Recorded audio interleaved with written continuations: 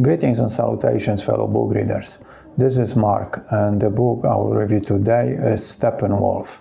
Before we continue, this is personalized limited edition of Steppenwolf with leather cover designed and made by me. At the end of the video, I will tell you a couple of ways of how you can get one for yourself if you are interested. Now let's get back to the review. Steppenwolf is a 1927 novel by the German writer Hermann Hesse. Uh, besides novels, Hesse also wrote poetry and painted. His interest seems to be in the individual as a spiritual being. Maybe it was influenced by his family's history. The grandparents were missionaries in India, and Hesse's mother was born there. He himself studied theology and became interested in Buddhism early in his life, inspired by Schopenhauer, who probably was the first Western philosophers to use Buddhism as an important part of an influence on his philosophy. Well, there were Kant's philosophical links to the Indian religions, but they seem more incidental. Hesse himself traveled through India, probably looking for spiritual enlightenment, and the time spent there resulted in the writing of his novel Siddhartha. Actually, the trip seemed a bit of disappointment, and perhaps Siddhartha was how he would like the trip to have been, spiritually. Hesse's beliefs also caused him to be a non-conforming pacifist, and he expressed his anti-war feelings openly in a public letter at the beginning of World War I that love is greater than hate, understanding greater than ire, peace nobler than war. This exactly is what this unholy world war should burn into our memories, more so than ever felt before. He was criticized for it and called unpatriotic by the nationalists. Hesse relays some of his anti-war feelings in Steppenwolf. I like to mention also that Hesse was born in the 1870s, the decade that produced other two great writers of German magical realism, Thomas Mann and Franz Kafka. He also met the great psychologist Carl Jung during one of his family crises, and the two men became friends. What is Steppenwolf about? It is about the struggle and hope to find reasons and energy to live the novel deals with midlife crisis when one finds himself alone and disconnected from others, and the things that were fun in youth seem pointless now. So one tries to find meaning at what might be lying ahead, and if there is meaning, the question is is it worth the effort to pursue it? Most men will not swim before they are able to. Is that not witty? Naturally, they won't swim. They are born for the solid earth not for the water. And naturally, they won't think. They are made for life, not for thought. Yes, and he who thinks, what's more, he who makes thought his business, he may go far in it, but he has bartered the solid earth for the water all the same, and one day he will drown.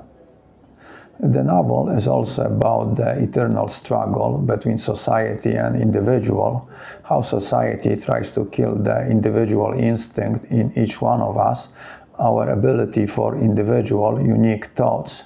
But the struggle is internal between two sides of our personality, social middle class bourgeois versus the inner solitary animal spirit, the middle class bourgeois in the book doesn't refer to the economic position, but rather it is a state of mind, part of one's identity.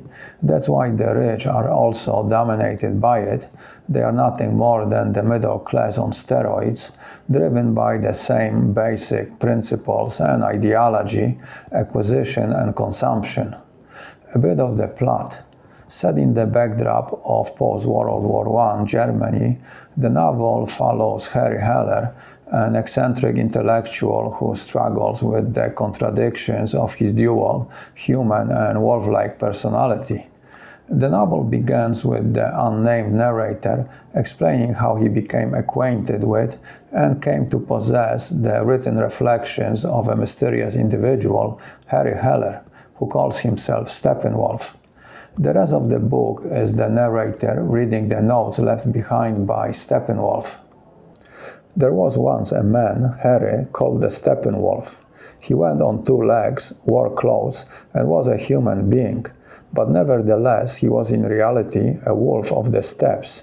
He had learned a good deal of all that people of a good intelligence can, and was a fairly clever fellow. What he had not learned, however, was this to find contentment in himself and his own life. Heller expresses his disillusionment with society and his own identity. He struggles with feelings of alienation and disconnection from the bourgeois lifestyle of that time. He sees himself as a Steppenwolf, a lone wolf wandering through what he sees as a foreign and empty landscape of life, unable to find comfort or purpose in the world around him. And this makes Harry suffer. As the story progresses, he encounters a young woman he names Hermione, a female version of Herman, his childhood friend. Hermione is a paid companion, a prostitute, who works in a dance hall. She is an animated and free spirited being who introduces Harry to the pleasurable nightlife of the city. Through his interactions with Hermione and some of her friends, beautiful Maria and wise musician Pablo, Heller is forced to confront his repressed desires and contradicting aspects of his personality. And that's the basic plot. What are my thoughts about Steppenwolf?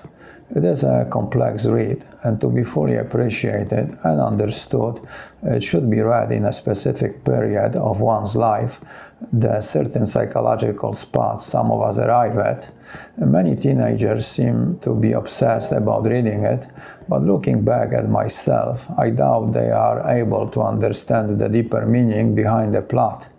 It is possible I wasn't as enlightened as some youngsters nowadays. To be fair, there are some ideas that might resonate with some younger readers, but they are not the main theme of the book. Hesse warns in the preface that people will see what they want to see and even misinterpret what is written. For me, the novel explores, from a more mature perspective of living, the complexities of the human experience. It deals with alienation and existential crisis, how they feed off each other, and as an attempt at survival, we search for some kind of deeper meaning in our existence. The book takes on the complexity of the human condition, the conflict between the intellectual and wild animal like sides of the human nature. It questions the nature of our existence and how society tries to shape our identity. There is no reality except the one contained within us. That is why so many people live such an unreal life. They take the images outside of them for reality and never allow the world within to assert itself. We are being pulled by our inner nature and by the outside world, often in the opposite directions, so we need to reflect on who we are and what we want. And this reflection on ourselves requires solitude, and solitude leads to detachment and loneliness. And this is the price we pay for trying to understand ourselves, to give some meaning to our existence. Solitude is independence. It had been my wish, and with the years I had attained it. It was cold, oh, cold enough, but it was also still, wonderfully still and vast, like the cold stillness of space in which the stars revolve. It is lonely, but at the same time comfortable, because there is synchronicity with who we are. There is the present but temporary pain of feeling alone, but the reward might be the eternal contentment achieved by eliminating the struggle of trying to be somebody else, by not going against our nature. All the feelings of loneliness and detachment make us identify as a solitary individual, a lone wolf. I am in truth the Steppenwolf that I often call myself, that beast astray that finds neither home nor joy nor nourishment in a world that is strange and incomprehensible to him. Many North American natives believe that each of us carries inside an animal spirit Maybe there's a remaining part of our previous life, who we were, something encoded in our individual genes. Perhaps life is a cycle of evolution, genetic. We start as a single cell organism and through cycles of birth we become more complex, passing through many physical forms. We pass our genes on and on until we reach the top. And what happens after it is anybody's guess. Some individuals might not procreate because they might have reached the end of their genetic evolution. Who knows? Hesse seems to use Heller to dive deep into his own psyche, to explore themes of duality, inner conflict, and the struggle to reconcile one's own nature. Heller's journey is a tumultuous one as he battles with his own self loathing and desperation. He becomes a temporary boarder in the narrator aunt's house, where the narrator also resides. When entering the house for the first time, he sniffs the odors like a true animal. He seems a man from another world, strange, even hostile, but he tries to be polite and friendly. He's kind of awkward and uncomfortable, playing the part of social animal and trying to fit in by going against his true nature. The narrator can sense the Steppenwolf's strange nature and initially is against him staying in the house. This is probably a common reaction Steppenwolf receives from others, and that's why the effort to disguise his nature.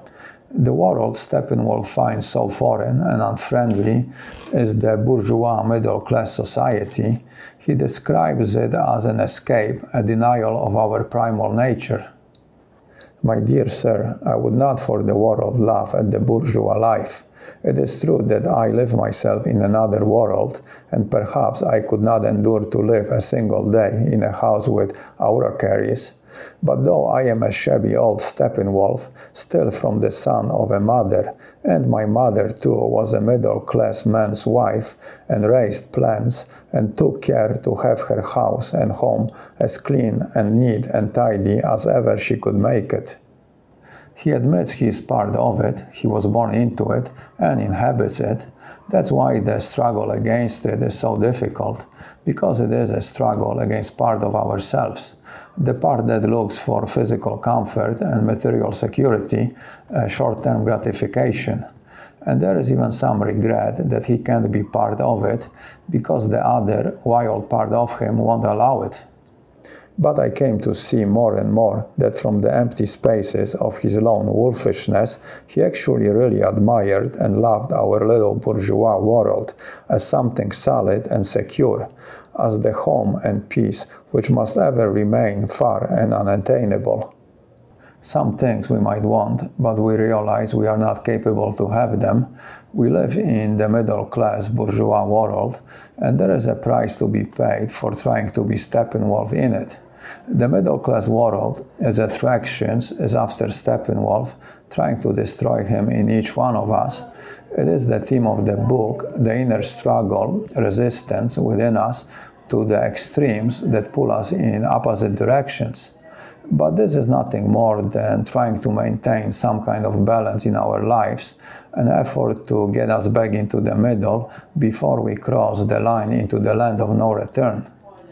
Now, what we call bourgeois, when regarded as an element always to be found in human life, is nothing else than the search for a balance. It is the striving after a mean between the countless extremes and opposites that arise in human conduct. It is not uncommon to discover that the individuals engaged in extreme behavior, good or bad, are discovered to have been involved in other extreme opposite behavior. All of us need some balance in our lives, and perhaps that's all life is the search or struggle for balance, which seems necessary for staying alive. That's why individuals who don't find it go too far because there is nothing pulling them back, a counterweight, and they end up dead, often by suicide. So, balance is nothing more than control. You controlling the extremes instead them controlling you giving them just enough room so the pressure doesn't build up and they don't explode, but at the same time, don't allow them to pull you too far away.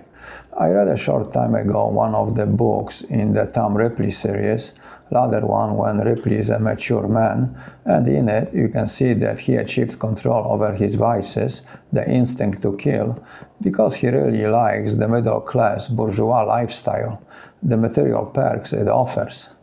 So perhaps control is achieved by having something else in your life, enticing and pleasurable, having many options or choices in life. And in the novel, this is shown when Steppenwolf sees many reflections in the mirrors. So the solution might be to just stay in the middle. But the danger of it is that life will become an uneventful, monotone existence. But the worst of it is that it is just discontentment that I cannot endure. After a short time, it fills me with irrepressible hatred and nausea. In desperation, I have to escape and throw myself on the road to pleasure, or if that cannot be, on the road to pain.